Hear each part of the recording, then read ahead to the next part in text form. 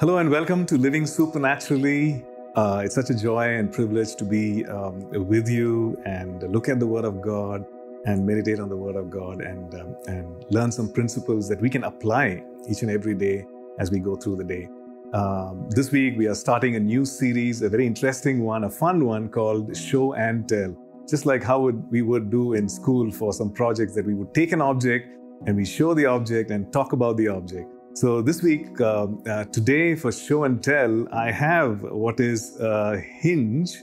Um, uh, we know that uh, every house would have many of these, but um, the thing is that it's it's small, uh, but we know that it can support a lot of weight, right? It's um, and it ensures the proper functioning of an object that is much bigger and heavier than than what it is right? But the second thing that we see about a hinge is that it is hidden.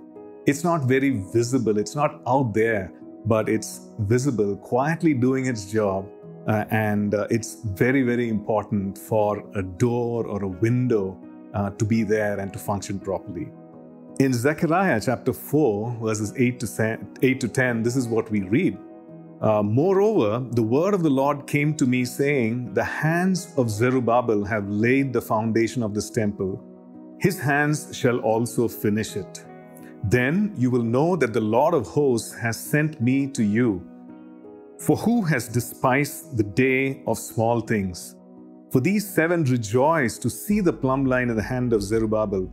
They are the eyes of the Lord which scan to and fro throughout the whole earth. Verse 10 for who has despised the day of small things? The message translation goes like this it says, Does anyone dare despise this day of small beginnings?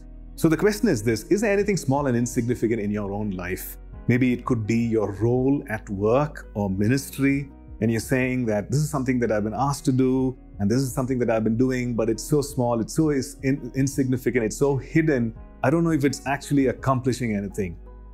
Or it could be something that something that God is asking you to do, something very simple, very small, and you're maybe even hesitating to start it, right?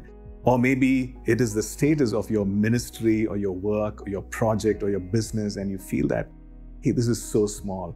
You know, will it really amount to anything? The thing that I'm doing, the service that I'm doing, the work that I'm doing, so small.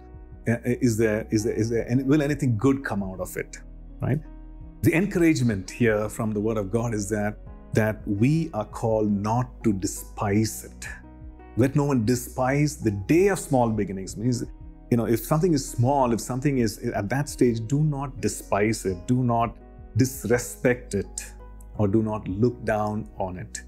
Especially, you know, if it's something you know for sure that it is God given, but it seems so small, right?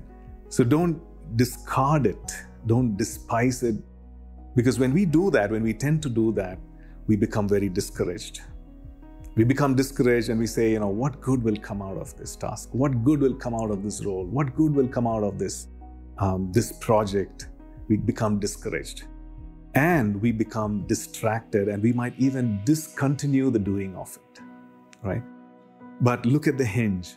You see that it is small, but it can swing open a big door a huge door, it carries the weight of the huge door. A few of these hinges will carry the weight of that huge door, much heavier than the hinge itself.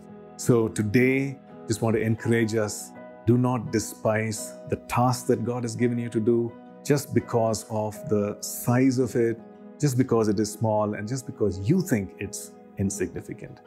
Right? God will cause it to grow and become significant. And right now, it is a blessing in other people's lives, and God will cause you to know it.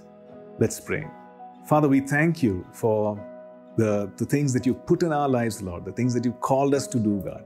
And so we thank you and we choose to be faithful that we will not discard, that we will not despise, and we will not become discouraged in the doing of it, God, but we will continue faithfully, Lord, even as you, Lord, multiply and cause it to glorify your name.